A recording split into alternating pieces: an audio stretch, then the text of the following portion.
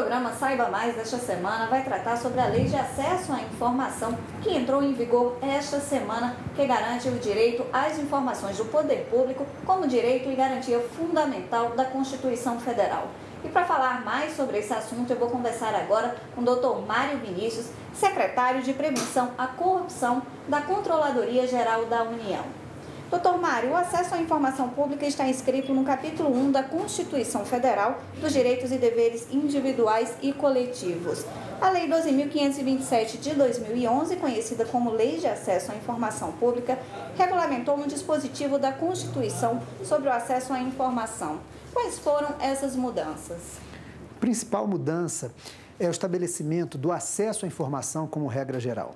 A partir da edição da lei, ah, o sigilo passa a ser exceção. Nesse sentido, a lei disciplina uma série de informações que deverão ser publicadas, ser fornecidas pelos órgãos públicos aos cidadãos, independentemente de qualquer solicitação, e foi além, estabeleceu um regramento para aqueles casos em que o cidadão vai até o órgão público e solicita informação. Quais as instituições públicas devem cumprir a lei?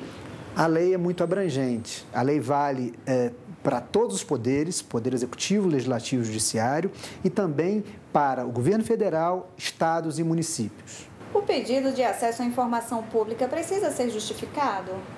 Não, essa é uma grande inovação da lei. Como o principal comando da lei é, é, o acesso à informação, e o sigilo é apenas a exceção, é, e a lei envolve uma mudança cultural é, em que fica muito claro que o proprietário da informação é o cidadão e o Estado é apenas o seu guardião, não há necessidade de motivação. Basta que o cidadão solicite acesso à informação e, se essa informação não estiver classificada em algum dos graus de sigilo estabelecidos pela lei, ela deve ser fornecida no prazo máximo de 20 dias, prorrogáveis por apenas mais 10 em casos é, especialíssimos, em casos justificados.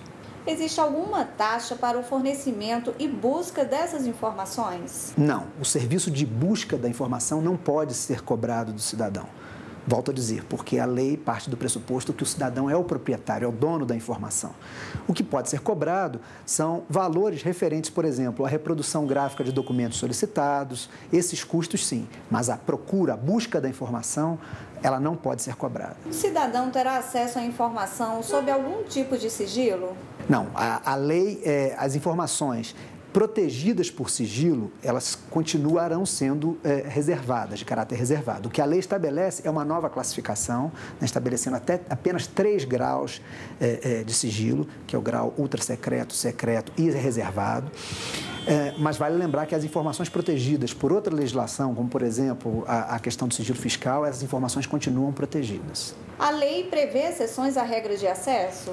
Sim, há, há informações que se, que se, essa informação tiver protegida por algum grau de sigilo, ela não deverá ser fornecida. Informações, por exemplo, que envolvam segurança nacional, que envolvam. Uh, uh, aspectos relevantes com, no que diz respeito à privacidade das pessoas.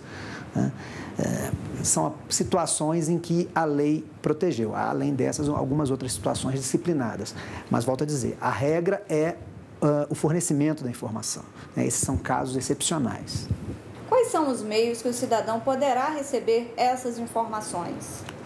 A lei estabeleceu que os órgãos públicos devem criar um sistema de informação ao cidadão que nada mais é do que um, um serviço que o órgão público tem que é, colocar à disposição do cidadão para que ele possa. Uh, solicitar acesso a informações públicas. No caso do Poder Executivo Federal, em todos os ministérios há esse serviço, esse serviço de informação cidadão, e nós também criamos um sistema, um sistema único que reunirá todas as informações solicitadas pelo cidadão. Então, por meio desse sistema, nós teremos como controlar uma série de fatores, como, por exemplo, eh, os acessos que estão sendo feitos, os ministérios que são mais demandados, eh, controlar os, os, prazos de fornecimento das informações, eh, informações essas que são essenciais para que nós possamos monitorar o processo de implementação da lei de acesso.